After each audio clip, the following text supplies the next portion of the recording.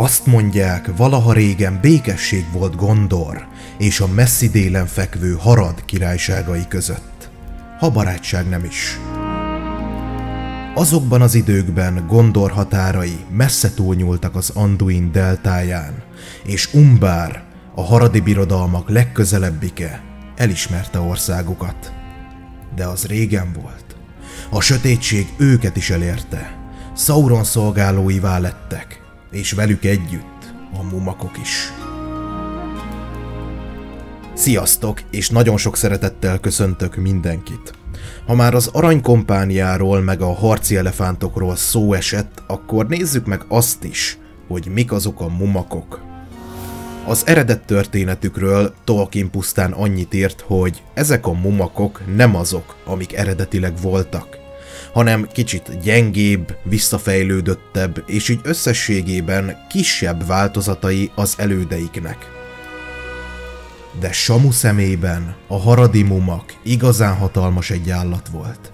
Hozzáfogható egy sem él ma középföldén. Korábban élt atyafiának nagysága és méltósága, ma már csak emlék. Először is tisztázzuk a nevét. Ezt az állatot a haradiak úgy nevezik mumak. Ők együtt a mumakil.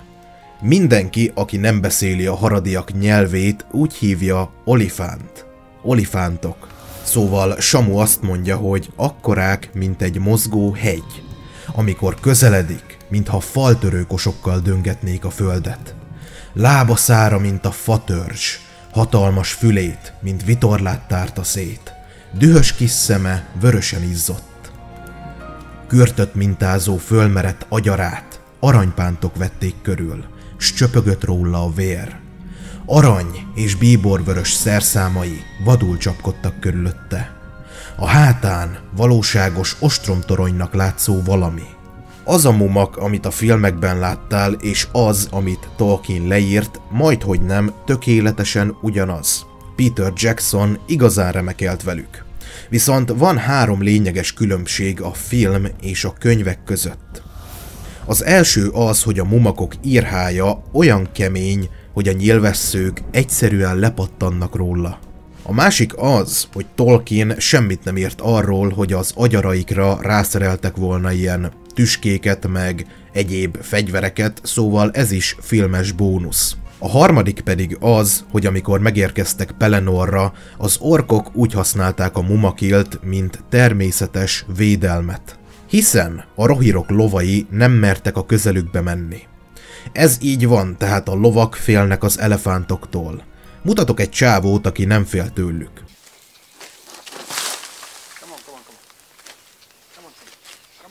Ha azt kérdeznéd, hogy hogyan képes hordozni a golyóit, nem tudom. A történelem során nagyon sokszor használták az elefántokat, mint fegyvert. Valóban csináltak olyat, hogy az agyaraikra rászereltek ilyen pengéket, amitől csak még durvábbak lettek. Ugyanakkor az elefántok bőréről nem pattantak le a nyilvesszők, szóval készítettek nekik páncélt. Szerintem mindenki el tudja képzelni, hogy milyen érzés volt az, amikor szembeálltak velük. Mind a harci elefántoknak, mind pedig a mumakilnak kettő gyenge pontja van. Az egyik a szemük. Nem véletlen volt az, hogy a rohirok a mumakok szemét vették célba. A másik hatalmas gyengeségük az, hogy nagyon könnyen pánikba esnek. Amikor egy elefánt pánikba esik, akkor elkezdi azt, amit úgy nevezünk álmokfutás. Félnek a tűztől, illetve ha egy nyilvessző vagy esetleg egy John Deere belemegy a szemébe, akkor álmokfutásba kezd. Olyankor nem számít, hogy ki a barát, ki az ellenség, mindent elpusztít. Ha ez megtörtént és álmokfutásba kezdett, a hajtójánál volt egy penge, azért, hogy az állatot megölje. Tehát kettő oka volt annak, hogy odavitték őket. Az elsőt elmondtam, természetes védelem a lovasság ellen. A tűzárkok között a haradi mumakok óriási tornyokat és masinákat vonszoltak. De a kapitányuk nem igen törődött vele, megölik-e őket vagy hányat ölnek meg. Csupán az volt a célja, hogy próbára tegye a védelem erejét. Tehát arra használták még őket, hogy ostromtornyokat vontassanak velük. A masinákról annyit kell tudni, hogy Gondolin, Numenor, Minas Tirith mindhárom helyszínen jelen voltak. Mik ezek? Nem tudjuk.